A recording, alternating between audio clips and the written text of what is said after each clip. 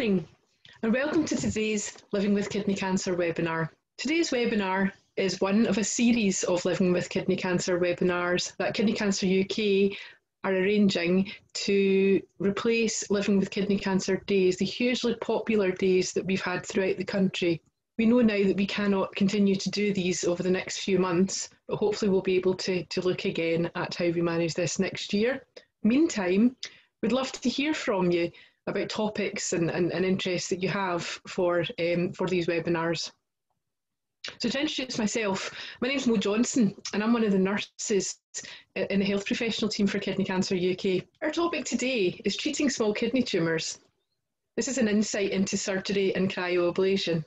I'd like to welcome our speakers. Gren is a urology surgeon from Glasgow, and he's going to be talking about treating small kidney tumours with partial nephrectomy. Dr. Des Alcorn is a consultant radiologist and intervention specialist from Gartnavel General Hospital in Glasgow, and he's going to be talking to us about cryoablation. And Mike Tunstall, who lives in the Midlands, is going to talk today about his experience of having kidney cancer and cryoablation. First of all, let's head over to Mr. Grenville Oades, who's going to talk about small kidney tumours. Good morning, everyone. I'm, I'm Gren Oades. I'm talking to you from uh, the Queen Elizabeth University Hospital in Glasgow. I hope you can see the blue sky behind me. It's quite um, a rare thing in Glasgow, but it's very sunny today. And I'm going to talk to about you about um, small kidney tumours and the role of partial nephrectomy. Um, I'm going to give you just a bit of background first. Um, first of all, I'm going to tell you that the incidence of kidney cancer in the UK is rising and it's been rising um, for the past two or three decades. Um, it's twice as common in men as in women, but you can see it's rising in both sexes. It may be plateauing off in the last few years. Um, and there's probably several reasons for this. Um, if you read a medical school textbook, it tells you that kidney cancer presents like this. So patients have um, pain. They have sometimes a palpable lump in their loin and they present with frank hematuria or bleeding in the urine. Um, but to be honest, that's very, very rare these days. And I've only seen a handful of patients in, in the past 10 years who present like that. And most patients I see with kidney cancer these days present like this. So they go to see their GP um, with some vague uh, complaints or some maybe some unrelated complaint they have an, on, uh, an ultrasound scan, and that ultrasound scan picks up a small lump in their kidney that's totally asymptomatic. And they didn't really know that they had it until they had the scan. Um, and this is really what we're talking about. So this is a CT scan, and um, the black arrow on that CT scan is pointing to a small lump in the right kidney. Um, and now when you go to your doctor, you get scanned um, for almost any minor ailment or complaint. And I think that probably at least partially explains why we're seeing more and more kidney cancer these days. Um, and this is quite interesting. If you look at um, over the past two decades about um, the how kidney cancer presents, um, this here stage one, so early stage kidney cancer over the past two decades has been increasing um, in frequency. And you can see now um, about, about half or more than half of our patients are presenting with very, very early stage disease. And the people with stage two kidney cancer, um, we've seen um, a reduction in people presenting with sort of larger but organ confined tumors. I think what's interesting to note when, we when we're doing this talk is that people who are presenting with advanced kidney cancer over the same time hasn't really changed. So to just tell you again that for the rest of the talk, um, Dr. Alcorn and I are going to focus on the treatment of early stage kidney tumors. And what we're really talking about here is kidney tumours that are less than four centimetres in size. Um, and most of these tumours um, are occurring in um, a slightly older population. So there you can see that if you look at um, patients registered with the British Association of Urological Surgeons with early stage tumours less than four centimetres, the majority of them are in their eighth decade of life. Um, I know some of you out there are not medically trained, so I wanted to talk to you a bit about the difference between uh, cancerous and non-cancerous tumors, so benign versus malignant renal tumor. A benign tumor is a tumor that can grow and expand where it is, um, but it can't spread. It can't spread by invasion into things nearby it, and it can't spread by the lymphatic system or the blood system and crop up in other um, places of your body. So they tend to be much, much less dangerous and they're not referred to as cancer. A malignant tumor or a cancerous tumor is a tumor that can grow, but it can also invade into things um, next to it, and it can spread to other parts of your body, either by the lymphatic system or by blood vessels. Um, and when we've identified these small lumps in people's kidneys, I think it's important for you to realize that not all of them are cancerous. So some of them are benign growths. Um, and the bigger the tumor is, the less likely that is. But if you look at the tumors that we're interested in, so those tumors that are less than four centimeters in size, then about a quarter of them will not be cancers. Um, and kidney cancer, uh, and these tumors can be a variety of things. Um, so we said they're not kidney cancers. There are many different types of cancer and many different types of non-cancerous lumps that you can get in your kidney. Um, and even renal cancer, the ones that are cancer, um, there are many, many different types of cancer that behave in different ways um, and can be related to different mutations in some of the genes that you have in your body. Um, so before we treat um, these small renal masses um, in the west of Scotland, we biopsy them. And when you when um, and this is quite controversial, but when you're doing a biopsy of a renal mass, you need to know whether or not it's safe. Um, and certainly biopsying renal cancers in the hands of Dr. Alcorn and his co uh, colleagues is very safe. Um, there's a minimal risk of bleeding. Um, reports of serious complications from biopsying renal masses are very, very low. And with modern biopsy techniques, the biopsies have no chance of spreading the tumor around the body at the time. We also need, we also need to know if it's accurate and is it necessary. Um, well, they are quite accurate, but it's not always straightforward. And certainly when you biopsy these kidney cancers, you get a very, very small bit of tissue for the pathologist to look at down a microscope. And as you can see here, um, when we've talked about the difference between cancerous and non-cancerous tumors, things can look very, very similar, but behave very, very differently.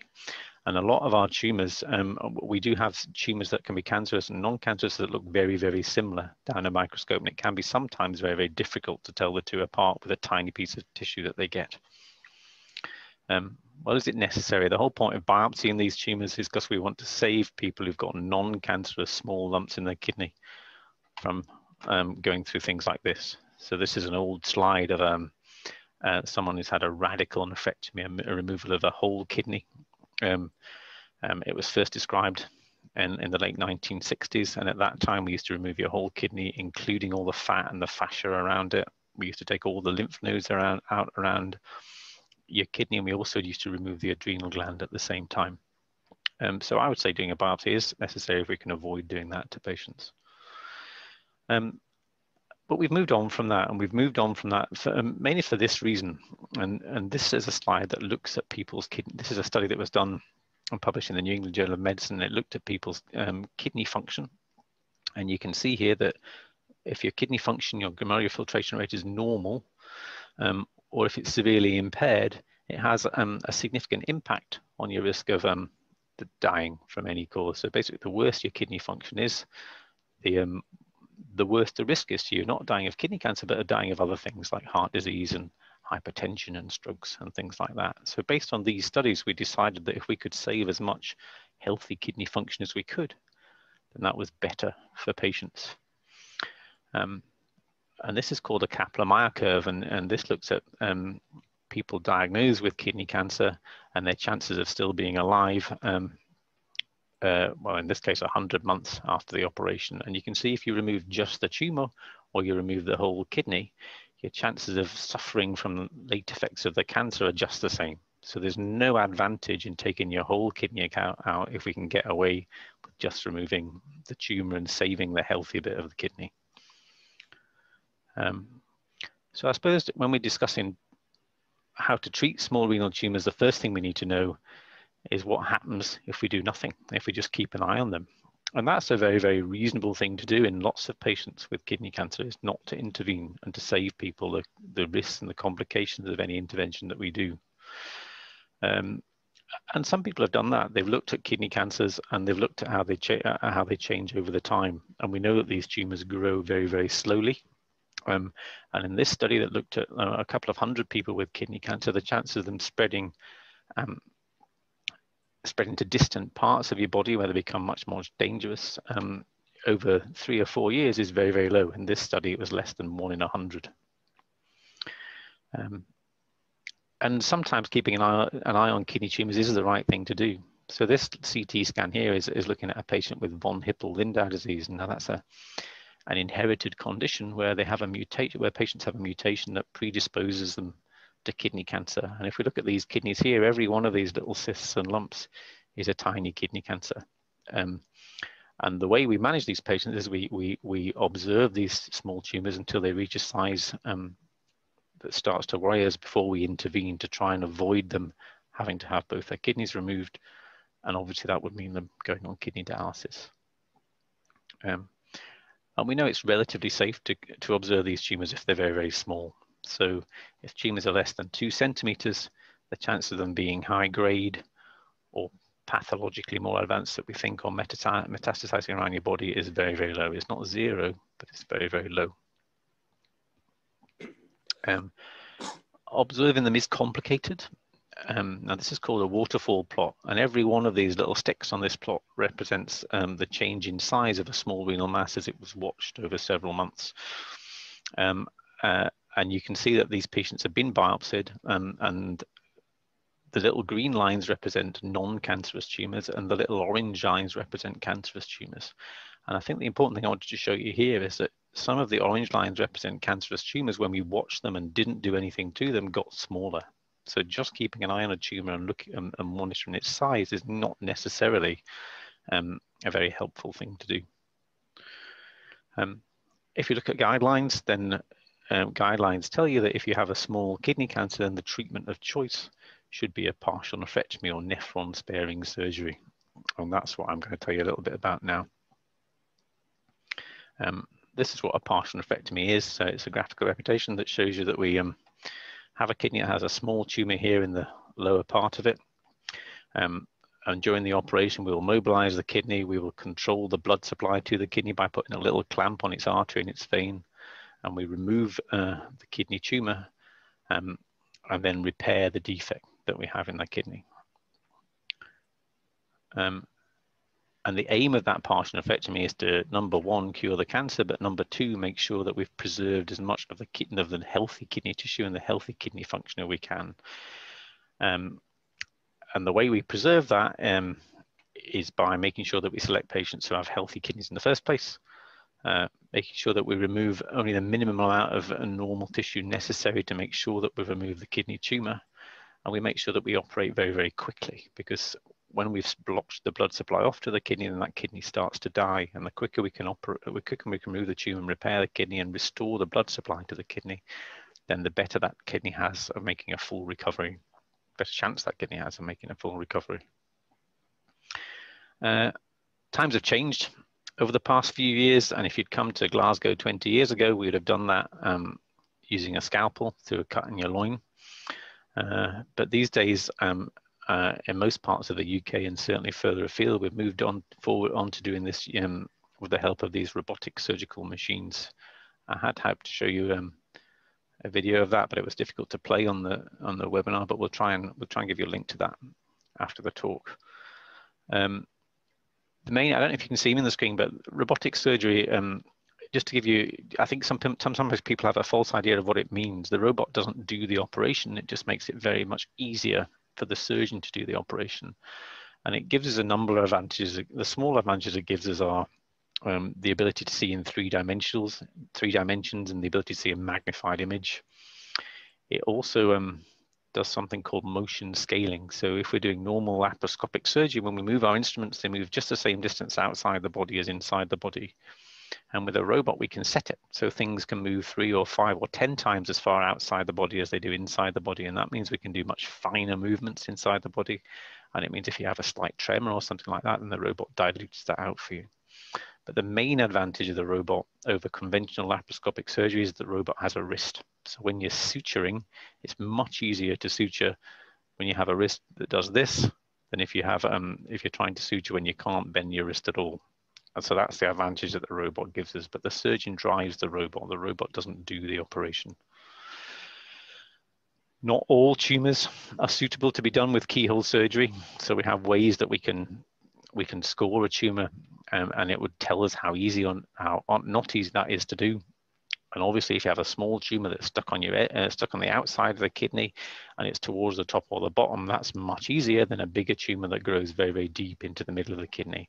And about a quarter of the tumors that we remove in surgery will still do an old-fashioned way by making a big cut. Um, that's again just a picture of the robotic system. So you can see the surgeon sits at a console. It's a little bit like a video game and he controls the arms of the robot that have instruments through little keyholes inside the patient. And actually, if we look at what treatments are being offered to people um, around the UK now with um, these small renal tumors, you can see it's very much dependent on your age, and that really means it's very much dependent on your fitness. So still a lot of people with early renal tumors are getting the whole kidney removed. But if you're very young, then we could try and offer you um, a partial nephrectomy or a nephron sparing surgery.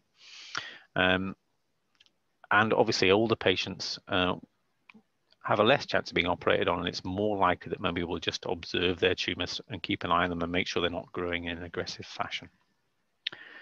Um, there are other treatments available. And I'm now going to hand you over to Dr. Alcorn, who's going to talk to you about um, other ways that we can try and treat your cancer, but preserve the nephrons in your kidney and preserve your kidney function.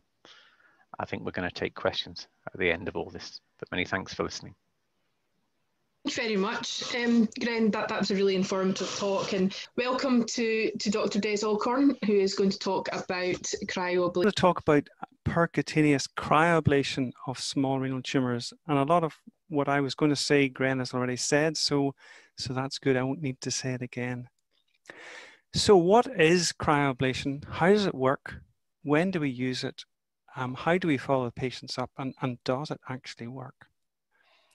So cryoablation is a means of inserting several tiny probes into a kidney tumor. And we usually do this in the CT scanner, or occasionally we'll do it in ultrasound. And very, very occasionally, we'll do it in theatre with the urologists. Um, and essentially, what we do is we put in some small probes and then we switch them on and we freeze. And the nice thing about cryoablation is we can freeze a predictable volume of tumor so that our results are, are, are hopefully quite, quite predictable. And it is one of several types of thermal and non-thermal ablation uh, techniques. And other techniques that are available are radiofrequency ablation and microwave ablation, which essentially heat up and desiccate the tumor and destroy it. And there is a new technique called irreversible electroporation, which essentially is a means of electrocuting tumors. So it doesn't involve heat or cooling, it simply involves electrocuting the tumors as a means of destroying the cells. So how does cryoablation work? And the reason I've shown this uh, tire and valve here is you probably remember when you let a tire down the valve gets cold. And essentially what we're doing is called Joule Kelvin effect or Joule Thomson effect, where a gas which is being compressed is then released. And as it's released, it expands. And as it expands, um, there's a drop in temperature. So that's um, Joule Kelvin uh, effect. Uh, Lord Kelvin is, is one of the uh, famous scientists um, from Glasgow and this is what we use. This is an ice sphere. So this is the probe that goes down into the tumor. And we may use three, four, five, maybe up to 10 of these probes that go into tumors depending on the size. And this is just a pen just to give you an idea of the size of the tumor. So it's roughly the size of the lead of a pencil. Now I did this drawing, I'm very proud of it, but actually when you project it, it's a bit rubbish. But anyway, uh, this is uh, what the cryoprobe looks like. And there are several chambers here. So this is the outer chamber, and this is basically like a thermos flask. So this bit is insulated.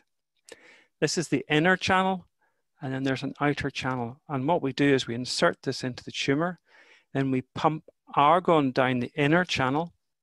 It expands into the larger outer channel, and as it's expanding, the tip of the needle cools down and ice is formed.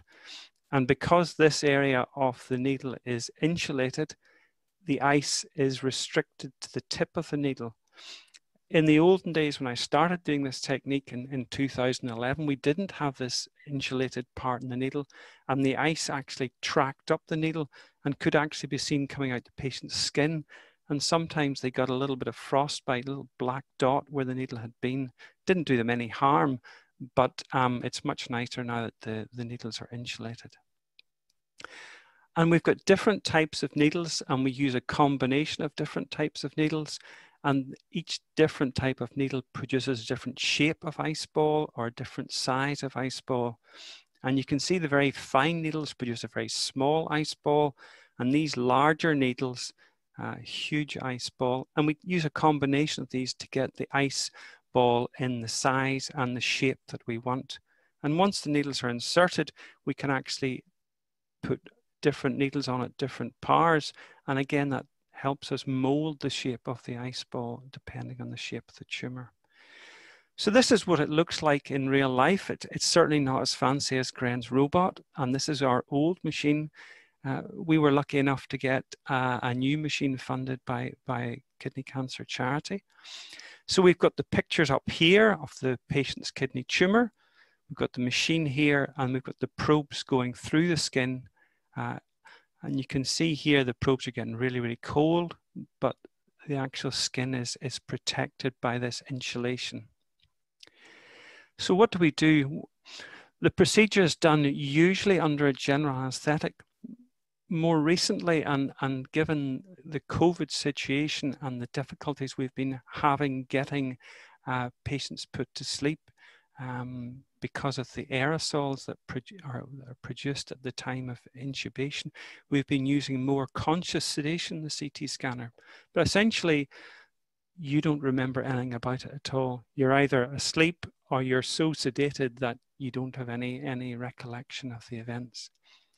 We lie on the table, and the position we put you on the table depends where the tumor is. Sometimes tumors are at the back or at the front we try to put the arms out of the way. And the reason we do that is when the arms are down, the x-rays have to go through your arms and it just makes the images less clear. And what we do is we get the patient, uh, their breathing suspended and the anaesthetist can hold the patient's breath uh, for a short time as we pop the needles in. And that has the advantage that the kidney doesn't move up and down. Uh, and as you're breathing, normally your kidney moves about seven or eight centimeters. And if you can imagine, if you've got a small tumor that's three or four centimeters in size and it's moving eight or 10 centimeters up, it's like uh, trying to hit a, a moving target. We have this facility called CT Fluoro, which essentially gives us the images almost in real time. So we're able to put the probes into the tumor and then we take a very, very small scan and that confirms the, the position. And this is what it looks like. This is the CT scanner here. This is the patient lying here under drapes. And this is our old machine here. And these are the big tanks of helium and argon. And I think when the patient comes down to the CT scanner, they're going to be put to sleep in the CT scanner and they see these enormous cylinders they almost look like missiles. And unfortunately, they sit outside the scanner and the patient is wheeled past them. But the thing is that the gas in these cylinders, although it goes through the needles, doesn't actually go into the patient at all. It just gets vented and scavenged into the room. So although we're using a lot of gas, the gas isn't actually uh, in the patient at all. This is another slide. It's just the pictures that we see as we're doing the procedure. You can see two very content anaesthetists in, in the background there. And once the patient is asleep, their job is basically done until we wake the patient up again. And we plan out what we're going to do. In this case, we were going to put four needles in. We use different channels. And the idea is we put the needles throughout the tumor and we gradually build up this sort of compound ice ball um, and engulf and completely destroy the tumor. Sometimes it can get quite kind of busy. Again, it's not as busy as, as Grenslide with all the, the, the different ports, but we, we can use quite a lot of needles. So when do we use it? And we tend to use it as an alternative to surgery in some patients where surgery is felt less optimal. So in the patients that Gren thinks surgery wouldn't be a good idea, the alternative would be to use thermal ablation and in our center, cryoablation. And these are the indications that we've had for the last 100 cryos in Glasgow. So usually per kidney function, that is frequently associated with single kidney. So that kidney might have been removed previously for a tumor or for stone disease or for something else. Quite often the patients we get have other comorbidities, previous cancer. If the colon surgeons have been in and the abdomen is sort of hostile for using robotic or open surgery, quite often we would get uh, patients for, for cryoablation because that doesn't really affect our ability to get at the tumor uh, particularly badly. Gren mentioned uh, von Hippel-Lindau syndrome. There's another syndrome called Birt-Hogg-Dubé syndrome, which again, um, patients get uh, small renal tumors quite, quite early on and will get further tumors later on. So if we can preserve kidney function um, by doing uh, cryoablation, then I think that is a benefit to the patient. Some patients that have failed active surveillance, active surveillance, failing active surveillance simply means that the tumor is continuing to grow at a rate that we feel we have to do something. Some patients get their tumors removed by surgery and they get small areas of recurrence in the renal bed and we can quite often treat those with, with cryoablation as well. Sometimes patients opt for, for freezing over surgery and that's maybe because they've had a bad experience of surgery previously or because they're they just feel frail and they don't feel up to it. Uh, and that's a very small number. I think usually, although it's patients' choice about what surgery or what treatment they get, um, you know that, that that's one of the roles I think of the clinician is to suggest which may be the best um, treatment uh, given the other, the other factors that we have. After the ablation, complications are very rare. We've had a couple of patients that have bled, and that's usually with very large lesions. And we're talking here about tumors that are less than four centimeters, but sometimes our arms are twisted into treating patients with tumors larger than four centimeters. That's usually in patients who've got comorbidities or poor kidney function or maybe a, a, single kidney. And it's really the last resort where we would use cryoablation uh, when the tumor is, is much larger than four centimeters. Infection is described in the literature, but as yet, and we've done more than 600 patients now, we haven't had any patients with infection. I think patients will feel some discomfort after the ablation, but it seems to be discomfort rather than pain. And I think the reason is that the nerves supplying the kidney um, are also frozen, and, and, and therefore, although the patient is aware of, of discomfort during the ablation, by the time they wake up, that, that discomfort is largely gone. One exception to this is if we're treating tumors near the diaphragm, Sometimes the probes actually go through the diaphragm and can through the bottom of the lung as well. And after the procedure, patients might get some discomfort when they take a deep breath. And that's simply because there's some bruising around the, the surface of the lung that when they take a deep breath, it moves. How do we follow patients up? Well, most patients get away the next morning and we do a, a follow up survey to see how they're feeling. And more than 90% of patients feel back to normal after five to seven days. Now, I like to follow patients up with contrast enhanced MRI. So that's an MRI scan with dye. And the follow up is slightly more intense than we would do for patients having partial nephrectomy, or, or and, and essentially that's because we don't know how good our, our margins are around the tumor. We have a pretty good idea, but we do keep a very close eye um, for 60 months, so five years. We use CT and chest x-rays as well, and that's usually uh, defined as, as, as the protocol for the stage of the tumor. Quite often patients will have had previous tumor removed from the other side or something like that, so the stage is higher, so their uh, follow-up might be mo more intensive than for the smaller tumor. And bloods are taken at the clinic when they appear there. Sometimes we notice that the tumor gets bigger initially, and that's, I think, just because there's bruising and a bit of bleeding into the tumor. But the most important thing for us is the tumor shouldn't take up dye after we've treated it with any form of ablation. It might take up dye for a couple of weeks immediately after the ablation. That's why we don't scan patients at two or three or four weeks. But after three months, there should be no dye uptake in the tumor. Does it work? Well, it does work.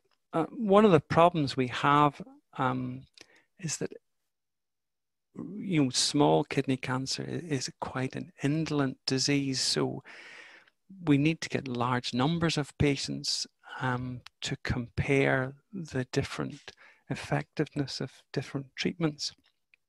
Um, and it's quite hard to to actually um, randomize people to one technique or another. And we did try to do that in this conserve trial. We randomized people to treatment or active surveillance, but we really weren't able to recruit enough patients to, to make it viable. So that um, trial um, closed early. This is some data, and the SEER data is essentially all the data that's compiled from treatments carried out in the US. So it's quite a large number of patients. And I think the surprising thing about this was um, that these are all for T1A tumors. Um, only 10% or 11% got treated with ablation, 40% got treated with, treated with partial nephrectomy, and 50% of patients, even up to 2018, were being treated with uh, radical nephrectomy for small renal tumors. When we look at all the data, about 7 to 10% of people treated with thermal ablation get a secondary ablation to completely destroy the tumor. Um, when looking at the thermal ablation um, against partial nephrectomy and radical nephrectomy, the results are, are, are pretty comparable, really. Um, the one thing I think ablation, one of the sort of strong features is, is the preservation of, of kidney function. So um, the patients that we get, uh, you know, with very poor kidney function, um, we're able to preserve a, a, lot of that, that function. So I think that's a real bonus for, for some patients. So in conclusion, I think the survival um, rates are similar across all the different treatments. I think for patients with very poor kidney function, maybe there is an argument for doing cryoablation if it's suitable. Um, and the thing is that sometimes we don't manage to treat uh, tumors in one go. So we have to take a couple of goes at it. It just means you come back to the CT scanner and we do it again. But ultimately, I think the results, um, whether it's with one go or several goes, are, are, are relatively comparable to surgery. So, what are the key points to bear in mind? I think cryoablation is an alternative to surgery in some patients and certainly not all. I think the choice of treatment is usually related to the comorbidities and particularly the kidney function. I think in some cases we're able to preserve kidney function very slightly better than surgery. We might have very slightly fewer complications than surgery, but that has to be offset by the fact that sometimes it takes more than one go to completely uh, eradicate the tumour. And that's me finished. Thank you very much, Des, for that really informative talk. Now I'm going to welcome Mike who's going to share his experience of having kidney cancer and having ablation. Welcome to Mike. Okay, so I'm just going to tell you a bit about my kidney cancer journey. Um, basically, I went to my GP back in June 2009. I had a small nagging pain in my left testicle. Um, my GP didn't think it was anything particularly worrisome, um, but he decided to send me for an ultrasound, which I had about six weeks later. Um, unfortunately, that revealed a large um, mass in my left kidney, measuring approximately nine by four centimeters. Um, and it would require um, surgery to, to get rid of it. So um, about six weeks later, I had a laparoscopic radical nephrectomy um, performed by Sean Vesey at Southport General. Um, that was a complete cure. The cancer hadn't spread. Um, he did say that it had been growing for around five to 10 years, possibly. Um, and the pathology confirmed it was a Fuhrman grade two cancer, um, but it didn't need any more treatment, but it would require future surveillance. Um, that surveillance commenced with CT scans with contrast, six monthly, annual. Uh, and over the years, he basically phased it out, and I went on to um, ultrasound and chest x-ray to avoid basically having the contrast dye put in me because it's not very good for, for kidney function. On the seventh year ultrasound, unfortunately, a very small mass was found in my right solitary kidney, measured approximately 19 millimeters. Um, obviously, I was devastated. I thought I was thinking the worst. I'm going to end up with, with no kidneys and on dialysis. Um, so my, my case was discussed at one of the multidisciplinary meetings on Merseyside, and I had an appointment with Robin Weston at the Royal Liverpool Hospital. Um, Mr. Weston was very balanced in his views. He, he pointed out the option for a robotic nephron sparing surgery to remove the tumour but leave the rest of the kidney. He also stated there was a, a case for taking a biopsy and also for just doing some active surveillance on it. And he also mentioned there was a possibility of radio frequency ablation, which I didn't really know a lot about. Um, the nephrectomy option um, carried a chance of three to five percent that Mr. Weston would have to remove the whole kidney. He said that had never actually happened in his hands, but it was a, a risk factor for me. Given that it was my solitary kidney, the odds of three to five percent I thought were quite high. Um, but he said I was perfectly fine to go away and have a think about it, which I did. Um, I did my own research, went on Google, um, and I found an excellent video on Kidney Cancer UK's site of um, Dr. David Breen, who practices um, at Southampton. Um, basically, about 13 minutes long, talking through the cryoablation procedure um, so but by the end of this video, I was quite impressed. I thought this is probably the, the road I want to go down. Um, so I basically got my, my consultant to arrange an appointment with him. Um, so I went down to Southampton. Dr. Breen took through the procedure in detail, uh, and I was quite happy to go ahead. The only sort of reservation I had was that any cryoablation could make any future surgery on that kidney more difficult but I still thought that was a better option than having the partial nephrectomy and having that very small chance that the kidney would have to be removed. So um, I had the procedure some months later. I went into hospital on the Thursday evening. Um, I had the procedure Friday morning uh, and I was up and about on the Saturday morning. Um, I travelled back home.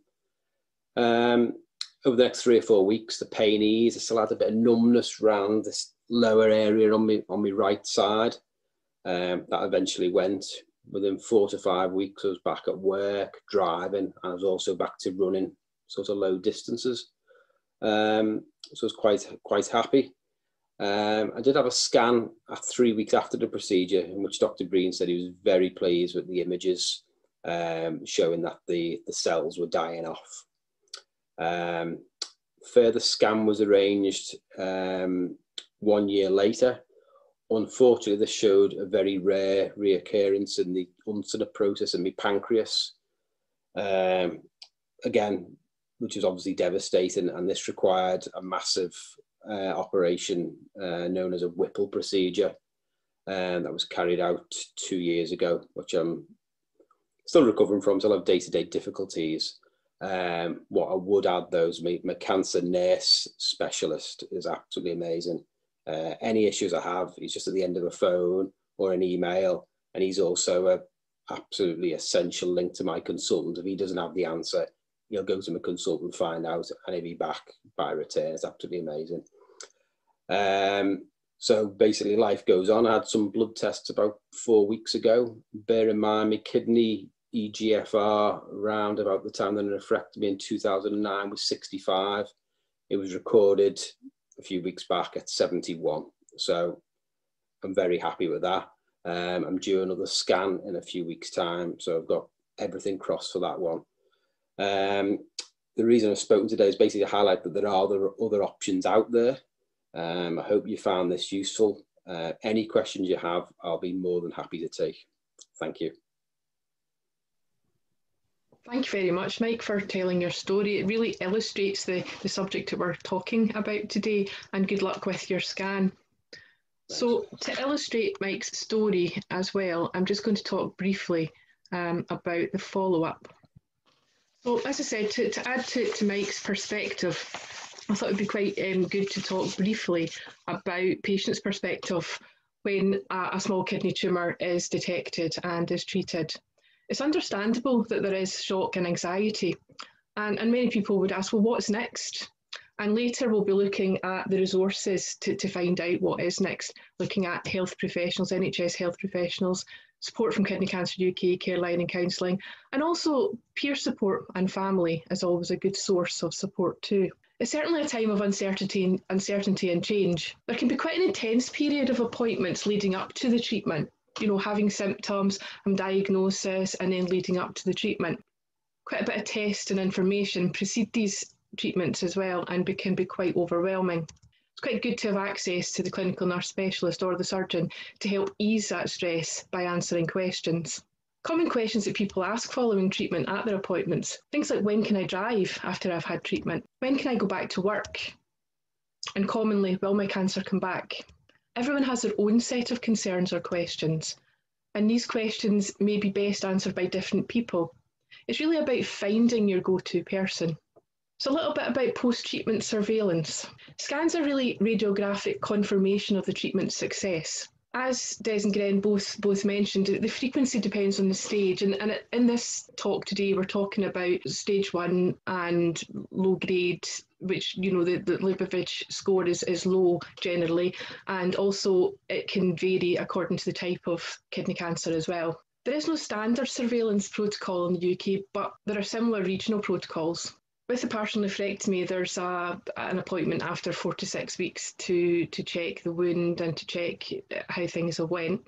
We briefly talked about watching and waiting for um, small renal tumours that where there's going to be no um, treatment, and actually to measure the growth. And we need to remember as well that kidney cancer at that, that stage is generally low, slow growing, much less than one centimetre a year, and this just measures the growth. Post partial nephrectomy there tends to be a CT scan of the, the chest, abdomen, pelvis with contrast. Whereas, as Des said, there's more frequent MRIs with, for cryoablation with an additional yearly chest x-ray and blood at the same interval. So if we look at this kind of 10-year follow-up, and this is based on the, the West of Scotland follow-up for small renal masses. In cryoablation, three, six and 12 months for an MRI, and then six monthly for the next two years, and then yearly. And this varies, as, as Des has said, and then potentially discharging at that point. With partial nephrectomy, it can be you're seeing, you know, four to six weeks after your appointment to check things are okay and to answer any questions as well. But then there's a bit of a gap, and you have your CT scan at the end of 12 months. Then at the end of year two and the end of year three, and if applicable, a yearly ultrasound and potentially discharging at year 10, but this varies. As we've mentioned, you know, there's quite a bit of a gap in between treatments. So what do you do then and who do you talk to? And this is where, where the role of the clinical nurse specialist comes in. Your care is their priority and they can be the linchpin in looking after you and your family. They coordinate care and follow up. They can refer on to other agencies for financial and work support, the link to the surgeon, and provide that emotional support and reassurance as well. So it's quite good to get the, the, the, the, contact details of the clinical nurse specialist at your first appointment. Another thing that's really useful as well is peer support, the idea of getting through things together. Many people with small kidney tumours manage absolutely fine, but it's quite nice sometimes to talk to someone who's had that experience. We have a closed Facebook group in the charity where people share experiences and ask questions. And we also have support groups which can be organised by the hospital or by ourselves. And they're now virtual and we really enjoy them. We've got regular coffee, cake, and chats, and uh, many of you join them. Um, and they're, they're really quite fun to be in, but also to, to support each other um, through the different aspects of kidney cancer. So to summarise, there are more small, more small kidney tumours being detected due to um, an increase in people having investigations for other reasons. There are a number of treatment options which we've discussed today. The follow-up isn't standardised in the UK, but each region does have similar guidelines and they can vary and your surgeon and your clinical nurse specialist will keep you up to date with that. And what's important too is just to find that go-to person or group for support so that your, your, your journey is, um, is easier. So I think what would be quite good to do now is to look at what questions and answers the, the audience may have. Hi, um, I was just wondering, I've actually got one kidney. I had my right kidney removed in 2000 there was a 17 centimeter tumor there. And I've now, in 2017, they found a five centimeter one on my kid, on my remaining kidney and four in my pancreas. Um, my last scan showed that they've all reduced because I'm on pazopanib. And the one on my kidney remaining at the moment is 2.9 centimeters. So what would my chances be of an ablation in those circumstances.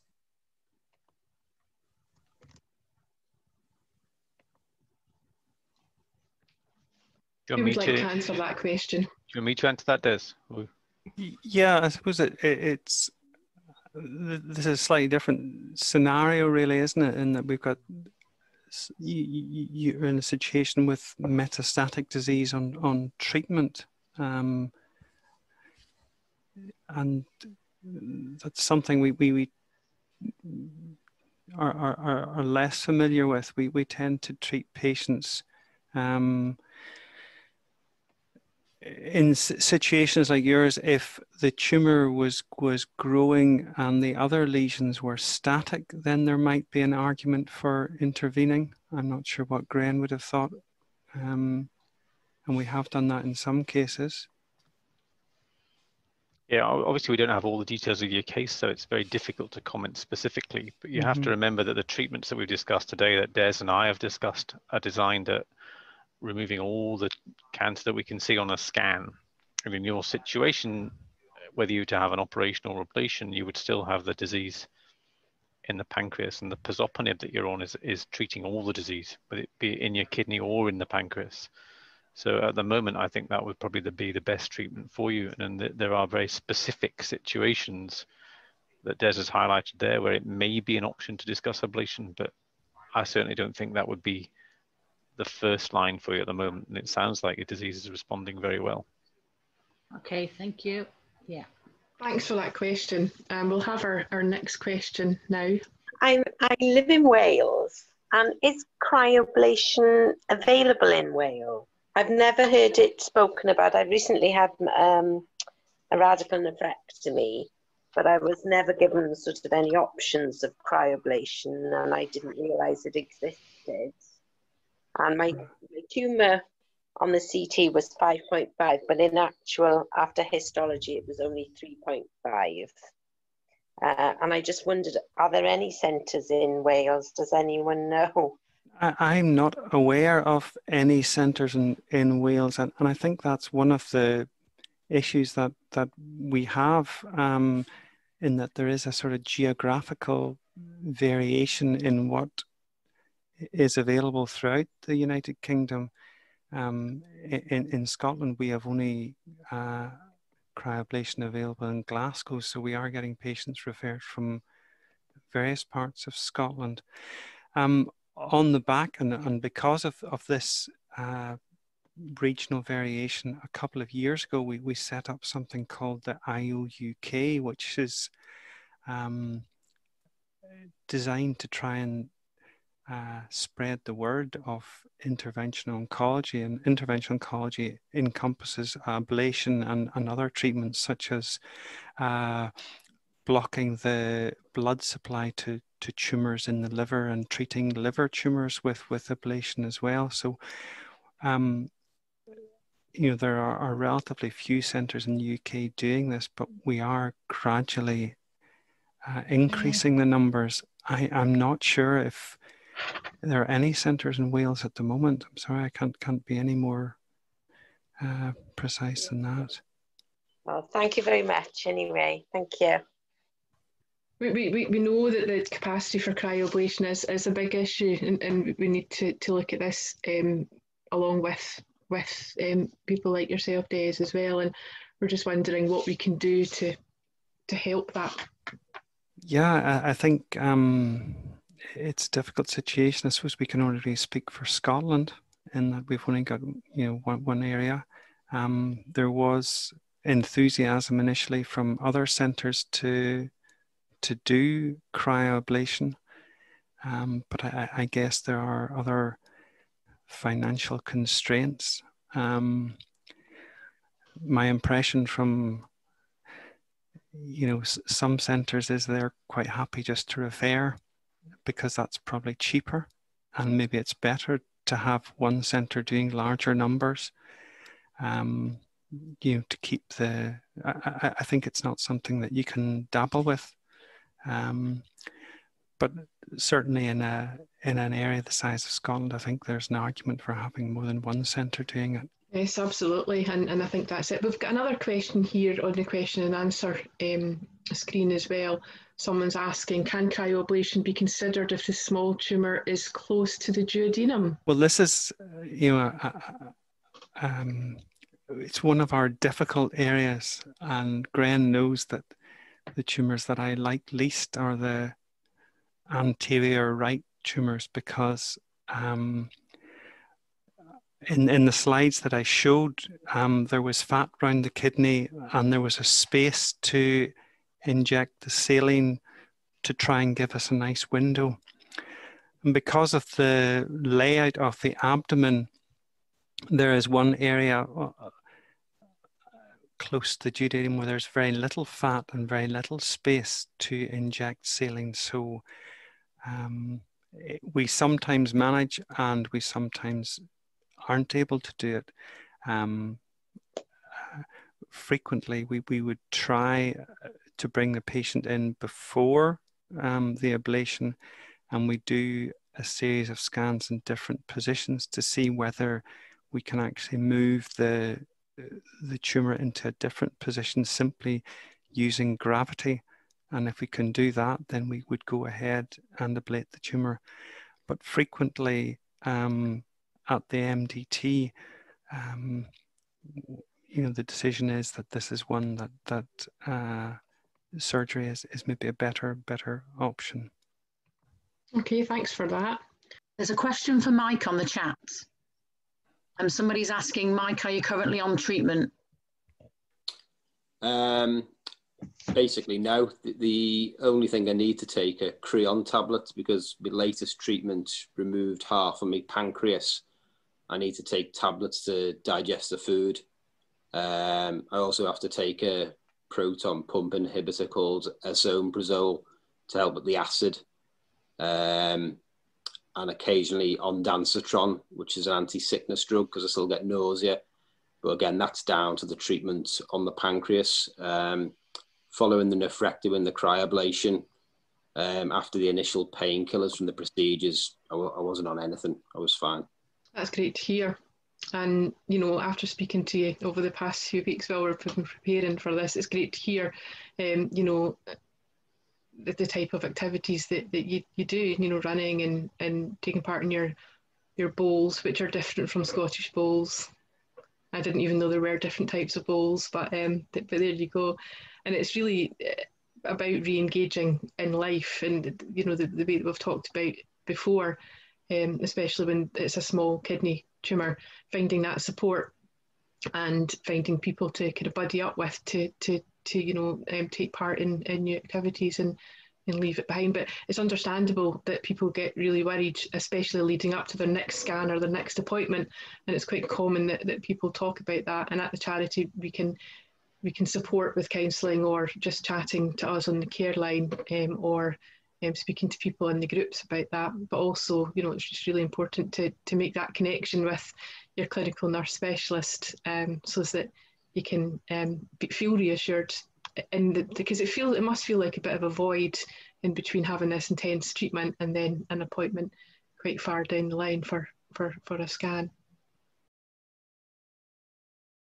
I'd like to just say um, on behalf of Kidney Cancer UK, thank you very much for joining us today. Um, we look forward to seeing you again soon. We will be having some more live webinars um, on, on various topics. I'd like to, to, to thank the, the panellists, the speakers, Mr. Graham Oades, Dr. Des Alcorn, and Mike Tunstall for, for giving us some very informative talks. Thank you very much.